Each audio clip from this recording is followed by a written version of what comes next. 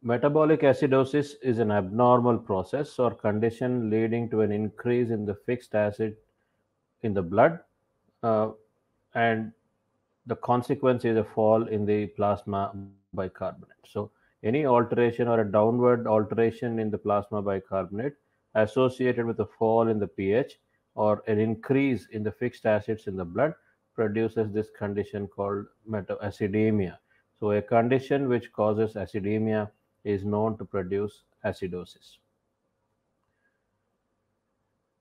This is probably one of the most common problems when you in intensive care practice, whether it is in the emergency room, whether it is in the operating room, whether it's in the field during trauma resuscitation, or in the intensive care unit when you are resuscitating patients with any kind of shock. The principal causes of metabolic acidosis are the addition of an acid, which could be endogenous like ketoacids as happens in diabetic ketoacidosis or it could be exogenous where you give a lot of chloride containing fluids like saline. On the other hand, rather than addition of acid, if the base that is present in the body is removed either through the bowel or through the kidney, like a gastrointestinal disturbance or a renal tubular acidosis, you could also be getting a metabolic acidosis. So, as has been uh, described here, those which are caused by an uh, addition of an acid usually produce a high anion gap metabolic acidosis.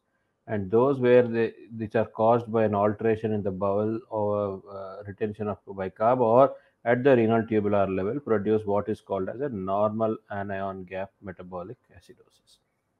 So the high anion gap metabolic acidosis is caused by several common conditions which you can remember by the common mnemonic mud piles, where methanol or methanol intoxication, uremia, that is chronic kidney disease, diabetic ketoacidosis, paracetamol and propylene glycol ingestion, infections, iron, isoniazid or INH, and inborn errors of metabolism, especially in pediatric patients, can produce high anion gap metabolic acidosis. In addition, the generation of lactic acidosis as a consequence of anaerobic metabolism in the conditions of shock can also produce a high anion gap metabolic acidosis.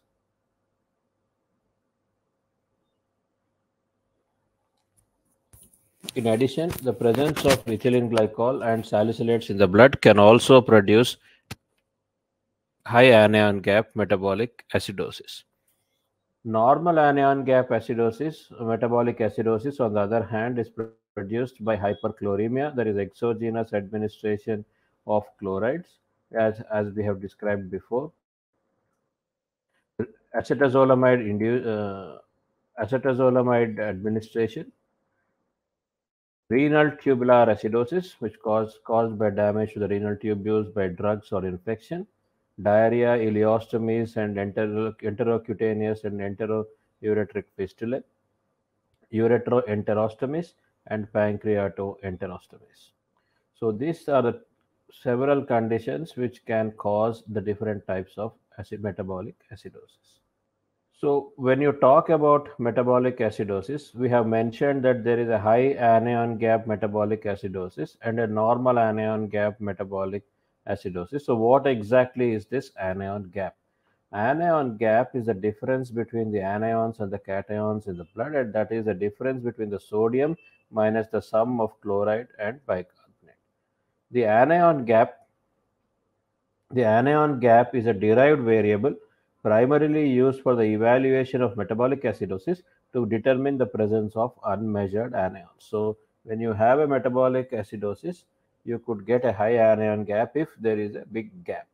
The normal anion gap depends upon the serum phosphate and the serum albumin concentrations, and the elevated anion gap usually suggests the presence of a metabolic acidosis. So, if you have if you have only the electrolytes to look at, if you look at the difference between the sodium and the sum of chloride and bicarbonate, and you find a number that is more than 12, that means a high anion gap, you can safely assume that this patient has a high anion gap metabolic acidosis even without the ABG in your hand.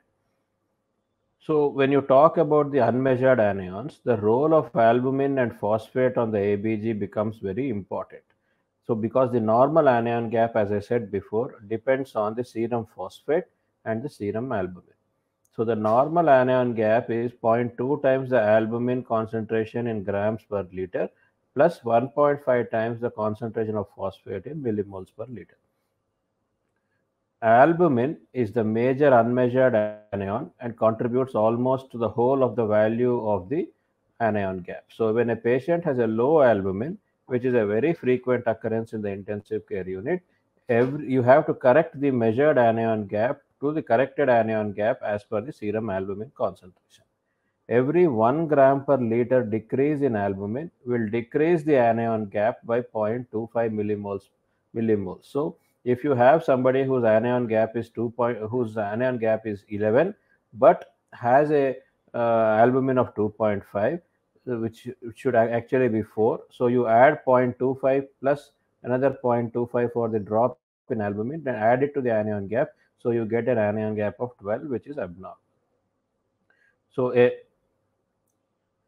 a normally high anion gap acidosis the importance of this calculation lies in the fact that a normally high anion gap acidosis in a hypoalbuminemic patient may actually appear as a normal anion gap. So, if a patient's albumin is less than 3 grams per deciliter, you should actually look at the corrected albumin before labeling an anion gap as being normal. What are the effects of metabolic acidosis? Is it just an innocuous uh, occurrence or it has does it have some systemic uh, manifestations? It has several systemic manifestations. The most important and the immediate response of the body to metabolic acidosis is by respiratory uh, stimulation. So, a, an acidotic patient will have hyperventilation, what is classically described as Kussmaul respiration, which is a compensatory response. And the oxygen dissociation curve shifts to the right in a patient who has an acidemic pH.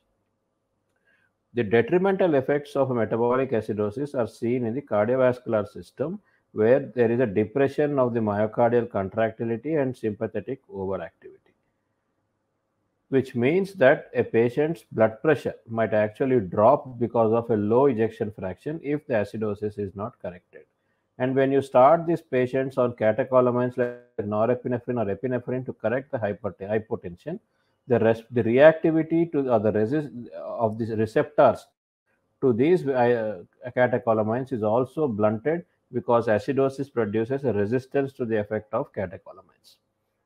In addition, the peripheral arteriolar vasodilatation also causes a fall in the blood pressure and the venous return is compromised by a venoconstriction of the peripheral veins resulting in a relative hypovolemia.